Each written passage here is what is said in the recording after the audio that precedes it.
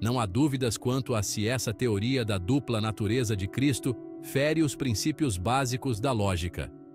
O onipotente não pode ter duas naturezas intrínsecas conflitantes entre si. A natureza humana com todas suas implicações, inclusive a susceptibilidade ao pecado, e a natureza onipotente quebrando a lei da não contradição. Nem mesmo renomados defensores trinitários sabem defender essa ideia, porque ela é extra-bíblica, é ilógica, conforme podem ver na foto na tela. Ora, se é um mistério e você não sabe explicar, logo, não podes tampouco falar sobre sua crença. Nesse segmento de teologia, eu posso inventar qualquer bizarrice e inferir, afinal, que nossa mente não consegue entender plenamente.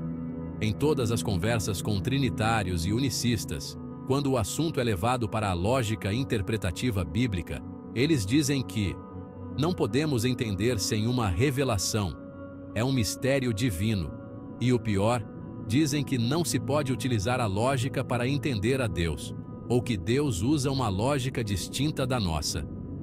Eu pergunto, a lógica de Deus com respeito às leis básicas de lógica, como a lei da não contradição, é outra. Falar que esta não é a lógica de Deus, esta é a humana. Tu deves saber qual é a lógica de Deus. Não se pode dizer que isto não é uma bicicleta, sem saber o que é uma bicicleta. O fato é que Deus não pode ser ilógico aos nossos olhos. Será que Deus não pode ser entendido pela lógica humana? Ora, a conclusão de que Deus não pode ser entendido pela lógica humana partiu de um ser que usa a mesma lógica humana para concluir que Deus está acima da nossa lógica. Será que tal pessoa conseguiria dizer quais os aspectos de Deus que não podem ser entendidos pela lógica? Se Deus está acima da lógica e nossa lógica é diferente da dele, nada fará sentido e nada poderemos dizer sobre ele.